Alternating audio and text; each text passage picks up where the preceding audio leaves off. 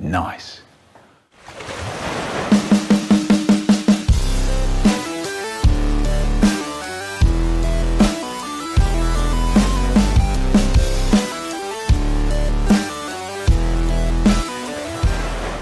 Welcome to the channel guys. Today we're going to install some lateral thrusters, but first, let's look what's inside the box.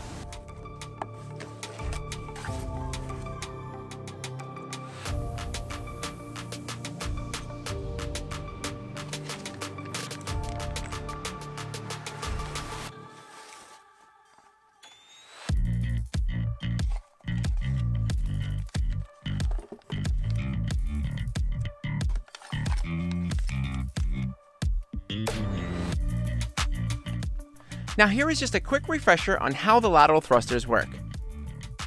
The main thing you need to know is that when turning in reverse, the jet pump does not fully push the boat from the side. Because of this, there is not much force helping to steer the boat. The lateral thrusters redirect some of that jet pump power to the side, giving a similar effect than how a traditional boat with a rudder handles. For an in-depth look on how this works, you'll have to watch my good friend Captain Leon. He's got a great video explaining and demonstrating this in his lateral thruster testing facility, link down below. Alright, let's get to installing those lateral thrusters now. Uh-oh. Now normally, you wouldn't be able to mix brands back here. If you wanted the lateral thrusters and low speed steering, you would also use Jetboat Pilot's thrust vectors.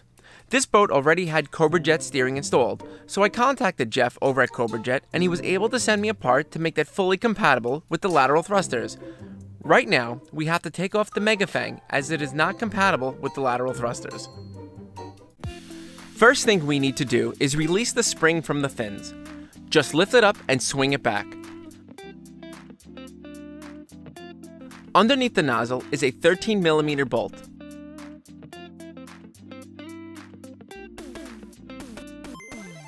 Make sure you don't lose the collar on the bolt when you remove it.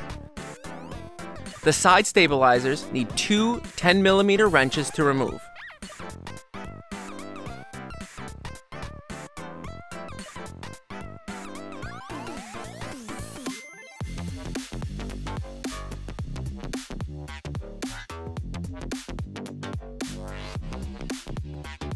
Now that we've removed the mega fangs and the stabilizers, we have a clear area to mount the lateral thrusters.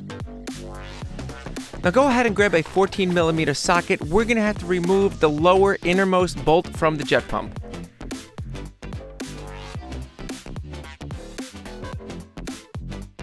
Take a quick wire brush to the threads to remove any residual thread sealer.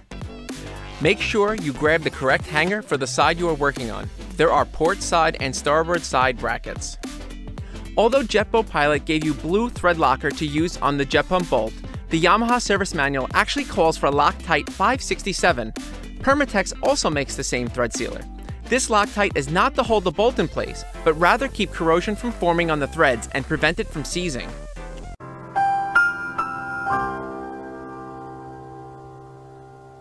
Now this part is a little out of order than what is described in the instruction manual, but by doing it this way, you'll be able to properly torque the bolt on the jet pump. Position this bracket as best you can to be flat. Set a torque wrench to about 13 foot-pounds and tighten it in.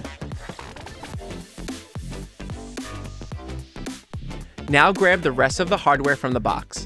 On top of the bolt, first place the lock washer, then the fender washer, and push it through the lateral thruster.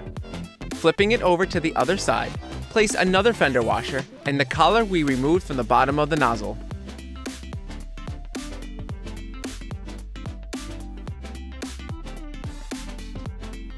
Now grab the blue Loctite from the box and put it on these threads. We do not want this bolt coming out.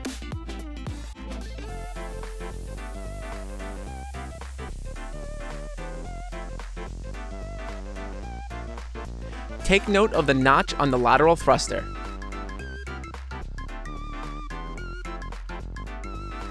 And this ridge on the bottom of the jet pump.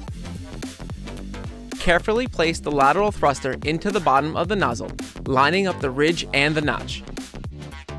Use a 5mm Allen key to loosely tighten the screw. Take the last, longer bolt place a washer on it, and push it through the top of the lateral thruster. wedge the plastic spacer in between the thruster and the bracket from the jet pump.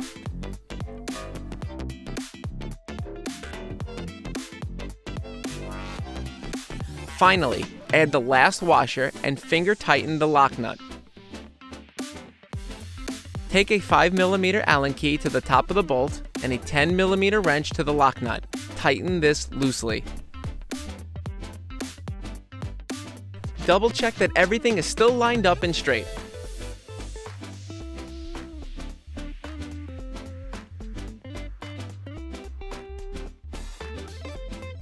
Now go back and torque that bolt under the nozzle to 10 foot-pounds.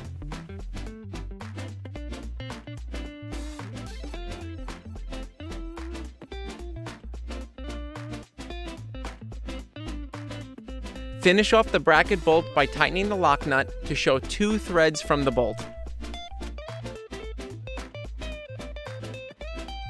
Okay, if we take our nozzle and move it side to side and flip the fins up and down, we see that there is no binding going on here. This is tightly mounted and not going anywhere.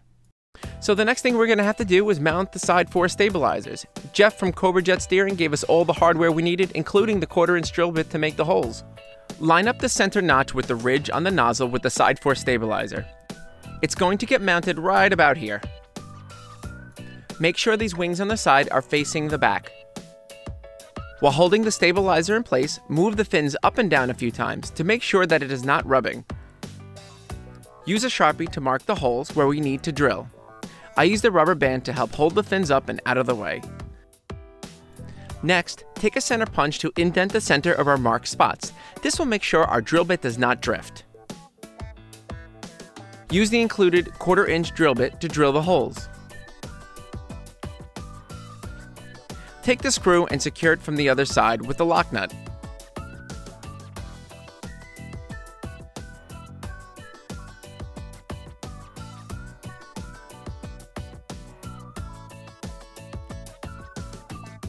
Use a 4mm Allen key on the bolt and hand tighten the lock nut with a 10mm wrench.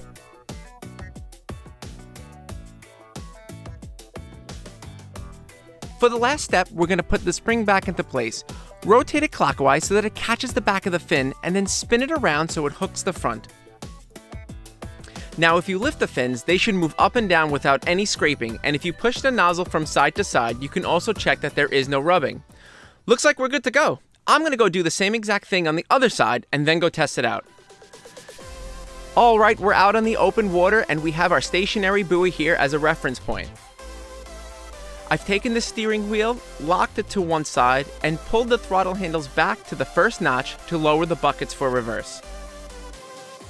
As the boat begins to move in reverse, you can see the water actually pushing out from the side. Look how tight we are able to make these turns in reverse. I love it! This is gonna make it so much easier coming back to the dock. If you have one of these earlier model boats, I highly recommend putting this in. Don't worry about which fins you have, as it should work with both brands.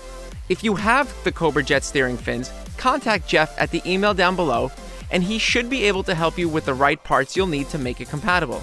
You wouldn't necessarily have to change out your entire fin system to make this work. Putting these in was a fairly easy job to do. I'm confident that you guys can install these without any difficulty. Alright everyone, that wraps up the lateral thruster install. If you liked it, give a thumbs up, leave a comment down below if there's anything else that you want to see, and don't forget to subscribe. Thanks again everyone, and I'll see you all on the water.